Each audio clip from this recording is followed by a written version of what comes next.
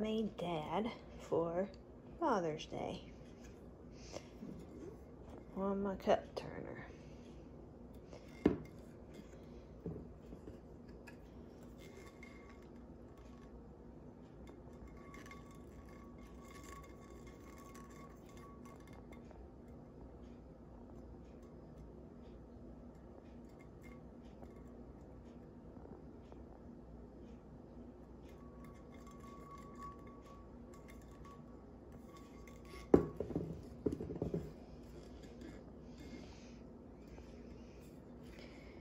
Wood grain. It's a wood grain cup. It's alcohol ink.